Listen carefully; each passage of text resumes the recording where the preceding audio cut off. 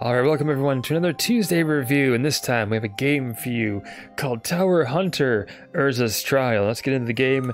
This game can be played two ways, and I've got one game for each one, uh, either as a roguelike or easy mode. Now this game has different weapons, different uh, ways they attack. Each weapon attacks differently, so you can find whatever works for you.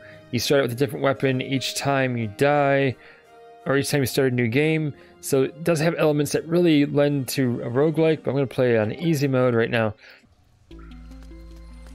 So this game right here,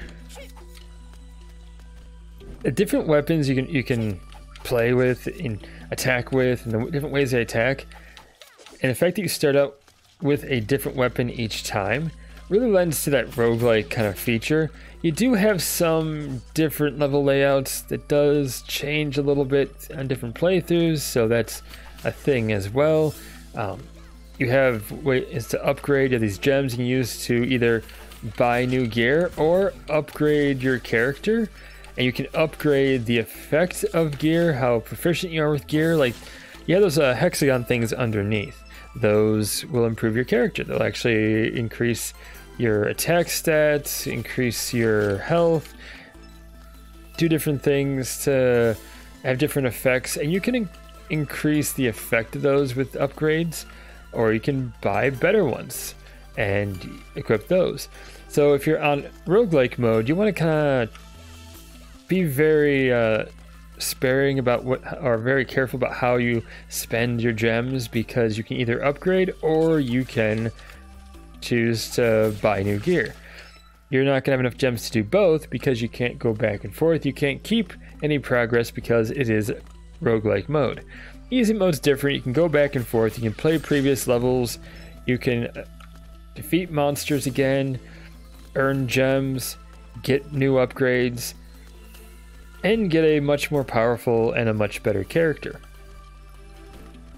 It's definitely, in my opinion, the more fun way to play. And the reason is because this game, despite the fact you have so many weapons, weapons have like special abilities, push down forward attack, and you have this sort of like katana finisher. It's very like anime-ish style finisher, where you just kind of screen goes black, you see a slash, and the enemy's dead. Like that kind of level of finisher. And each weapon has a different one. You have different play styles. You can uh, customize your character's look even at the beds. Customize your character as far as skills and upgrades as far as what weapon you use and how you play. Those are all kind of cool features.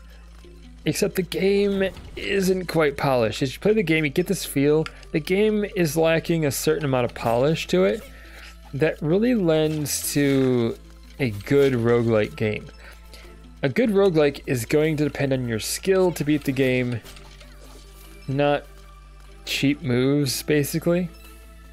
If that makes any sense. And this game just, it seems like there's something about it just not quite done. Like it's just not quite ready to be released as a full game in a, as a roguelike. As a Metroidvania on the easy mode, it's actually kind of enjoyable, I have to admit you can actually have a lot of fun with this game on that mode. And that's probably where I've had the most fun on this game is playing that mode. As a roguelike, it's okay. I mean, you might be able to get a little bit of enjoyment out of this, but really, I recommend if you play this, play it only on the easy mode. And there's all kinds of cool things that lend itself to Metroidvania with these upgrades, with so you, you start with like being able to cling onto walls and do wall jumps, but then you get like a double jump, and then eventually a triple jump. All these kind of ways to upgrade your character, make your character more powerful, go back and forth and grind, unlock areas that have new treasure and new abilities, all that kind of stuff that really, really makes for a really good game, for a really fun game. But again, the polish isn't there. You want a game that is actually polished. And it feels like wasted potential in this game. The game could have been better. It could have been so much more than what it actually was. But unfortunately, it's just it's lacking. It's lacking that that certain polish. If you ask if the game is fun, I have to say yes and no. Yes and no. It, it it's fun if you play it as a regular Metroidvania type game. It's not fun. It's not fun if you play this as a roguelike game. It's again just going to be more frustrating than a good time. I think as a roguelike, it's about as far as I've gotten and then just got like super annoyed with how the game was. And that's what you get with a game that doesn't have that polish to be a roguelike. So, yeah, it definitely, I think, is. It has potential. And I think if the developer were to take this and to kind of polish some game mechanics a bit more, this could be a really fun roguelike. It seems like the game likes to put you in situations that are just really difficult to win. Like it's really an unwinnable situation. Like you're gonna take damage no matter what you do, no matter how you play the game, and there's no way to avoid that.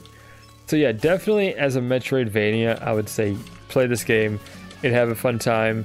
Um, for the fact that you can't play this game or really enjoy it in both game modes, I'd say get it on sale. Maybe try the Android or iOS version. Maybe that, that's a bit cheaper and maybe it plays a little better, a little different. The PC version, yeah, wait for sale and only play as a Metroidvania. I'm hoping the next game they have coming out, which is a sequel to this game, improves on what this game is kind of lacking in, gives it that polish that it needs. I'm really hoping that's the case.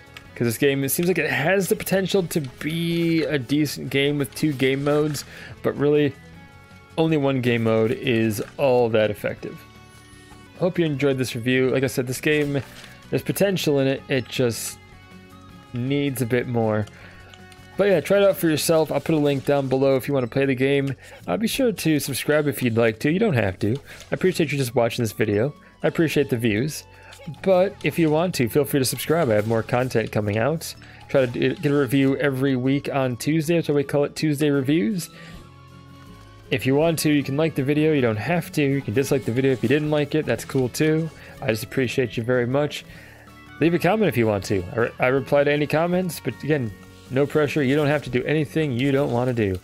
And I just appreciate you all for being here. So thank you so much. We'll see you next time. Until then, stay awesome, and we'll see you then.